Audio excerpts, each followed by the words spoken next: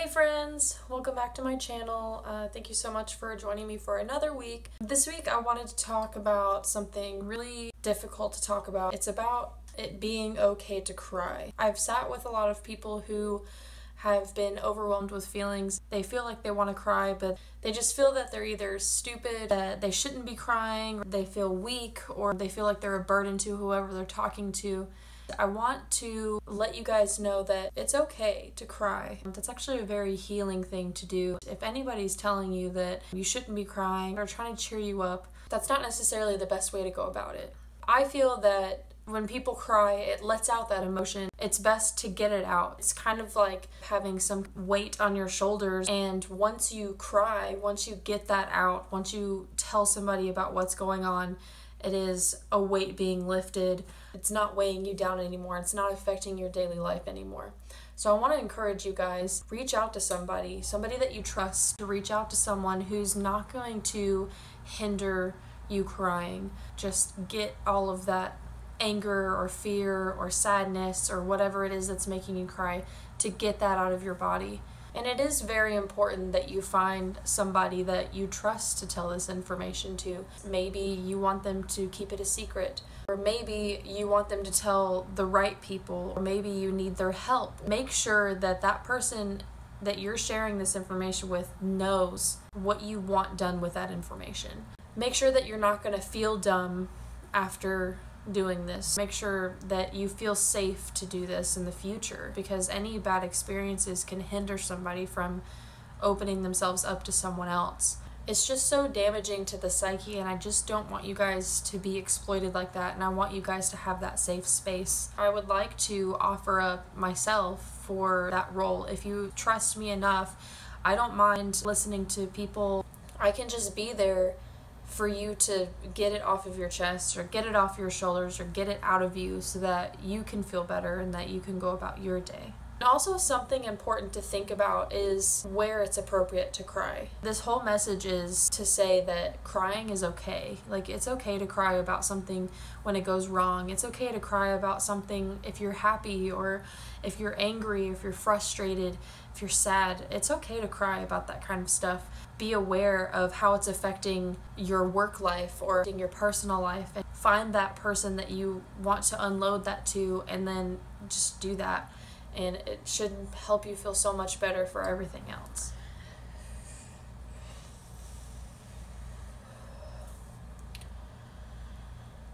Now that I've kind of gotten the message out, um, I wanted to share something recently that made me cry. Um, after I posted my video last week on Sunday, on that Monday, I got a call from my doctor and um, there's just been this overweighing thing for the past few months that there um, is something inflamed or a mass or something inside of my body that's um, around my reproductive area. So I was told that there was a mass there and he wanted me to go get a CAT scan, which I did. And on last Monday, I got a call from him um, and he was telling me that I had a bigger mass than what he thought um, inside of me, and it was my ovary that was the mass. Um, if you know me at all, I haven't really had any health issues, and that could be because I haven't really gone to any doctors in quite a while, and I probably haven't gotten the checkups that I should have gotten. Um, but I've been rather healthy throughout my life despite being overweight. But um, after getting this call, he informed me that I would have to definitely have surgery to get this mass taken out, um, and that he wanted me to get a blood test to see if it was cancerous or not. Um, so, obviously, at the sound of cancer, I'm going to kind of freak out. Um, at the time, I was at work and I decided to go to a safe place on my own and contact um, my friends and people that I knew would give me support in that time. And um, they kind of really helped me through that. Um, but in in that moment, I in that moment, I was really sad. I was really scared.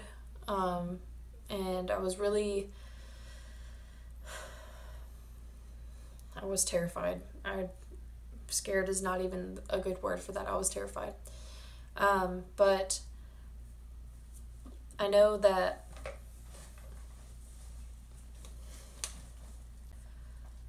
um, honestly, the idea of I could possibly have cancer is not really a huge issue for me right now. Obviously, that kind of scared me that day, but what's really scaring me is having the surgery. Um, surgery to me is a huge deal, and it's something that I never thought I'd have to go through in, in my young adult life. I mean, I'm only 27, so um, if that's something that has to happen now for my health, that's just that's mind-boggling to me that this has to happen so young. So um, that happened on Monday. I left work early. Um, told as many people as I possibly could, any any of my friends that I possibly could have told, um, and it really got that off of my shoulders. It really like getting it out and actually talking about it, even though I was crying in front of everyone, um, really helped me. And and I do really want you guys to know that I'm I'm okay right now. Um, I say I'm okay as I'm starting to tear up, but I'm okay physically. I don't feel any pain or anything, and um, I'm I have so much support behind me that I'm just not even scared anymore. Um, now it's just kind of waiting to see what's going to happen next, and I really hope that you guys. Uh,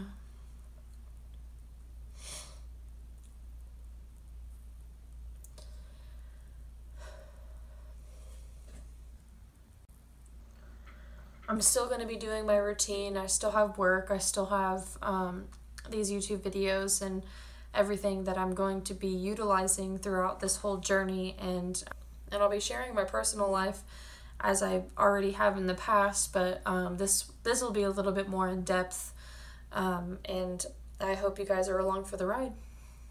I know that this message was really deep. It may have been really difficult to listen to or watch. Um, and I know that for me, it, it hasn't been too difficult to talk about it. So if you have any questions or would like to reach out to me, please place a comment below or send it to I am enough for this world at gmail.com. I that is still open for this channel only and I will be able to respond to any emails that go to that. okay. So thank you guys so much for watching this video. I really hope that you guys have been uplifted to, you know, let your emotions out, share those emotions with the people that you love and the people that you trust. And I really hope you guys um, are on your way to emotional healing if you so need it. The guys who already have the emotional healing and already know what they're doing, please help those ones that don't know what they're doing and uh, need somebody to vent to or need somebody to cry with. Um, I encourage you guys to just help each other out this week, and um, hopefully see you on the next one. Bye, friends.